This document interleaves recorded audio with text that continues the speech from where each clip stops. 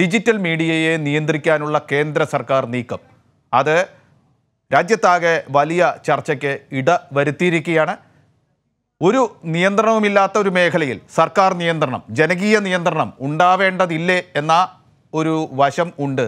എങ്കിൽ പോലും നമ്മുടേതുപോലെ ഒരു കാലത്ത് ഭരണകൂടം ഈ മേഖലയിലേക്ക് കൂടി കൈവയ്ക്കുമ്പോൾ ഒരുപാട് ആശങ്കകൾ ഉയരുന്നുമുണ്ട്.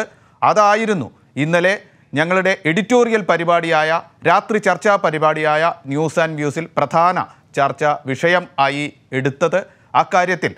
എല്ലാ വശത്തു നിന്നുള്ള വളരെ പ്രധാനപ്പെട്ട ആളുകൾ ഞങ്ങളോട് സംസാരിക്കുകയുണ്ടായി ജനങ്ങളോട് സംസാരിക്കുകയുണ്ടായി. അതിലെ ഏറ്റവും പ്രധാനപ്പെട്ട ഒരു കാര്യത്തിലേക്ക് പോവുകയാണ്. ഡിജിറ്റൽ മീഡിയയെ നിയന്ത്രിക്കാനുള്ള കേന്ദ്ര സർക്കാർ വിജ്ഞാപനത്തിന് വ്യക്തത ഇല്ലെന്ന് മുതിർന്ന മാധ്യമപ്രവർത്തകൻ ശശികുമാർ അഭിപ്രായപ്പെട്ടു.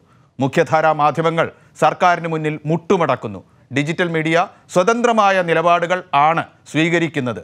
സർക്കാരിന്റെ അനുമതിയോടെയല്ല വാർത്താമാധ്യമങ്ങൾ പ്രവർത്തിക്കേണ്ടത് എന്നും ശശികുമാർ അഭിപ്രായപ്പെട്ടു. കൈരളി ന്യൂസിന്റെ ന്യൂസ് ആൻഡ് വ്യൂസിലായിരുന്നു അദ്ദേഹത്തിന്റെ പ്രതികരണം. ശശികുമാറിന്റെ വാക്കുകൾ കേൾക്കാം. വാർത്താ മാധ്യമങ്ങൾ ഒരു സർക്കാരിന്റെ അനുമതി കൊണ്ടല്ല പ്രവർത്തിക്കേണ്ടത്. അല്ലെങ്കിൽ സർക്കാരിന്റെ ഒരു സമ്മതം കൊണ്ടൊന്നും അല്ല പ്രവർത്തിക്കേണ്ടത്. വാർത്താ മാധ്യമങ്ങൾ സർക്കാരിനെ വെല്ലുവിളിക്കുന്നതാണ് വാർത്താ മാധ്യമങ്ങൾ ഒരു വാർത്താ മാധ്യമത്തിന് ചങ്കൂറ്റം ഉണ്ടെങ്കിൽ ഐ മീൻ അതിന്റെ ഒരു ഒരു the essence of journalism is to be adversarial to power to speak truth to power എന്നൊക്കെ പറയില്ലേ? അപ്പോ ഒരു ഐ എൻ പി മിനിസ്റ്റർ കീഴെ കൊണ്ടുവരുന്ന വാർത്താ മാധ്യമം ആ സർക്കാരിനെ എങ്ങനെ വെല്ലുവിളിക്കും? ആ സർക്കാരിന്റെ എന്താ പറയുക ചില കാര്യങ്ങൾ എങ്ങനെ ചോദ്യം ചെയ്യും?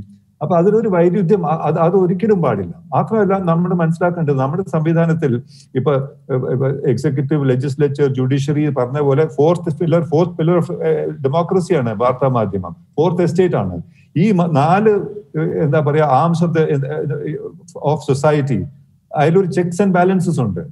അതിന്റെ ഒരു പ്രക്രിയയും കൂടി മാധ്യമ വാർത്താ മാധ്യമങ്ങൾ നിർവഹിക്കുന്നുണ്ട്.